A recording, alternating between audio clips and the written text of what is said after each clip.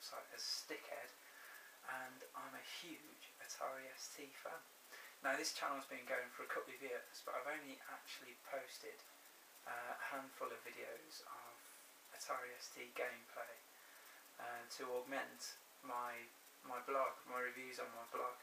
Uh, and I wanted to develop this a bit more. Uh, kind of been inspired by people like Steve Benway, um, Ian Wilson, X-File and many others. Uh, really enjoyed their videos so I wanted to do something similar but uh, along the lines of you know a bit of an Atari ST theme. Um, so here it is. Uh, I mean why the Atari ST? Uh, uh, it started really uh, with my dad. My dad was a bit of a tinkerer. Um, he was a maintenance man by trade, which uh, used to work for a, YMCA who had a block of flats, and obviously their own buildings where they had a, a leisure centre and things like that. And his job was basically just to go and fix stuff when it went wrong. Um, so he had his hands in all sorts of pies, you know, a bit of plumbing, a bit of electrics, uh, a bit of building, anything really. Um, so you know, during the late 80s when microcomputers uh, were gaining in popularity, it's only natural that he would get one in the end.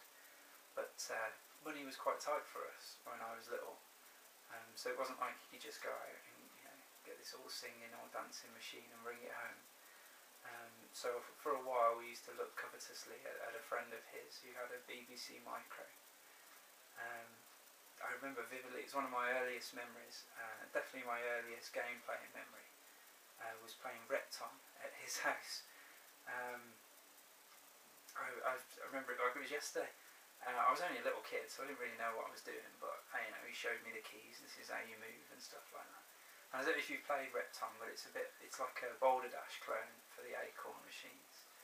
Um, it's very, very similar. It's not quite as high paced and as frantic as Boulder Dash, but it, it's the same thing. You dig out earth, and you know, if you dig earth from underneath a boulder, it drops. You got to collect diamonds avoid monsters, that kind of thing. But it's it's a bit more puzzly in nature, a bit less arcadey than than Boulder Dash. And uh, so I, I just played this tiny section of the game. Uh, I remember moving from one this narrow corridor, moving from one end of that corridor to the other. Uh, and on the way, I must have dug out a bit of earth that a boulder was sitting on. Uh, and as soon as Repton moves away from the boulder, obviously the boulder falls down and fell down with a crash. And I jumped out of my skin. Uh, and from that moment on I've been utterly hooked as far as video games are concerned. I mean, you know, that was such a, an emotive moment. Um, yeah, so yeah, so um, we couldn't afford a BBC Micro, but my, you know, my dad saved up, and one day he brought home an Acorn Electron, which is, it's, I suppose it's its little brother, really. It's very similar to the BBC Micro, not as powerful. a lot of the games are compatible with both, um, this friend who had the BBC Micro had a lot of games that could also work on the Electron, so he he, he copied them for us. Whoops daisy. uh, yeah, so we started pirating very early in our family. Um, yeah, so he copied us a load of games, Repton being one of them. Um, obviously became one of my favourites. Um, and that was it really.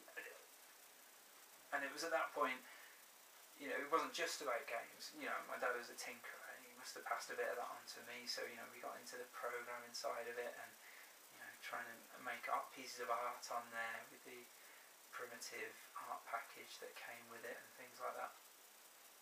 So yeah, great time, great time. And then I moved from there. My uncle, um, he he gave me his Amstrad CPC um, one Christmas, which was just amazing. I mean, he gave me that because he bought an Atari ST. Um, but that actually, playing on my uncle's Atari ST wasn't my first experience of the Atari. My first experience was at a friend's house. Uh, he was quite a bit older than me. He was going to high school at the time. I must have been about, I don't know if I was about 10. So was he going to high school? I don't know. Anyway, um, at this point, he, he had a lot of friends uh, that went to the same school as him. They all had Atari ST, so he used to organise parties where they'd all come over and they'd all bring their machines and games and things, and they'd set them up and they'd uh, network them and play multiplayer, Populous and, and all things, crazy things like that. Um, and I just happened to be along there. His mum was my mum's best friend, so I, I came along to one of these things and um, an ST set up in his living room on his on his TV playing Super Sprint and uh, Super Sprint on the Atari you can play three player so two people on the joystick and one person on the keys. Of course, because I was the youngest there, I was demoted to keys, racing as the blue car. Um, but that, that was just phenomenal. That was excellent. I really, really enjoyed that. Such a great game, Super Sprint. I mean, even to this day, absolute timeless cl classic. Um, I still do prefer playing on keys. Um, but I was hooked from there. Um, what other games did they play? They played uh, the Real Ghostbusters, which is just a shocking game. But you know, to someone who'd been brought up on Acorn Electron games and uh, Amstrad CPC blockiness, uh, that was incredible. Uh, and Whirligig, that was also it's a bizarre maths-based mouse-controlled shooter.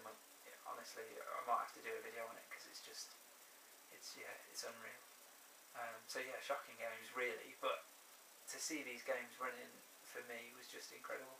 Uh, left a really big impression on me. Obviously, I must have spoken to my mom lots about it. Uh, so uh, sometime later, it must have been about a year later, she she bought me an Atari ST for Christmas, uh, which was an incredible present. Um, I knew about it leading up to Christmas. She told me beforehand. Um, so yeah, what a great Christmas. I, I remember sitting there playing. I had one disc and it was from a magazine that I bought a month earlier when I found out that I was getting the ST. Uh, it was an ST format and it was a cover disc with two demos on it. Uh, a demo of, is it Puzznic? Yeah, Puzznic, like a sliding block puzzler, and a demo of Golden Axe, which had the first level. Uh, I was playing those to death Christmas morning when Mom came in, and she has this habit of, uh, uh, you know, surprising you with a present a bit later on in the day when you think it's all over. Bless her uh, and she brought in this carrier bag and dumped the contents onto my lap, and it was just full of, of discs, individually wrapped. There must have been a hundred discs, all individually wrapped in wrapping paper. Um, and when I opened them up, they were they were all discs, Atari ST discs with with games on, pirated games. Uh, so to all of a sudden go from these two demos, which I was loving, I was having a great time, but to all of a sudden I've got hundreds of games. Uh, that was incredible. Uh, yeah, I'll never forget that. But anyway, that's where my love affair with the Atari ST started, and it, it, it's still ongoing today.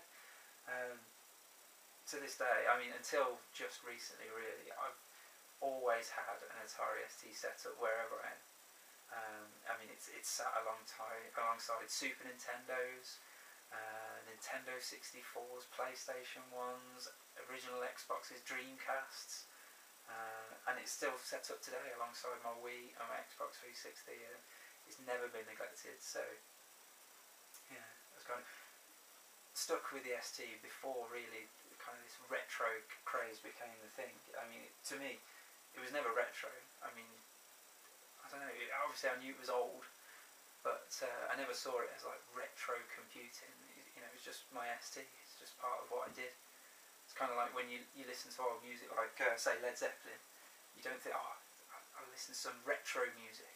You just listen to music you like. That's kind of how I feel about about classic computing. Um, I was going to say something. Oh, never mind. Um, yeah, so that's where it started, and you know, I'm gonna I'm gonna make this YouTube channel all about my beloved Atari ST, and I, I hope you enjoy it.